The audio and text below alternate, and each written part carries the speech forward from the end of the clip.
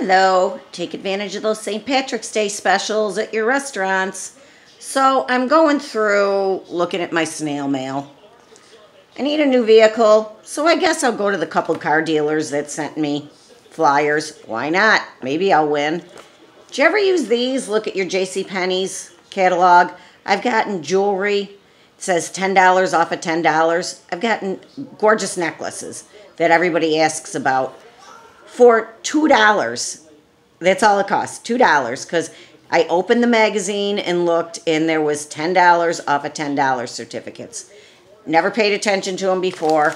Now I pay attention to everything. Reading my Auto Club book. Never read the Auto Club book. Tijuana Flats, show your card, get 15% off. So many things in snail mail. Never read the snail mail. Always piles up. Read your snail mail, tip of the day.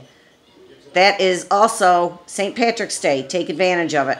Read your promotions and your email too. I have them that's that line up. And I looked and there was a whole bunch of savings in that too that I didn't pay attention to. So mail, I guess it's important. Have a good one. Go green.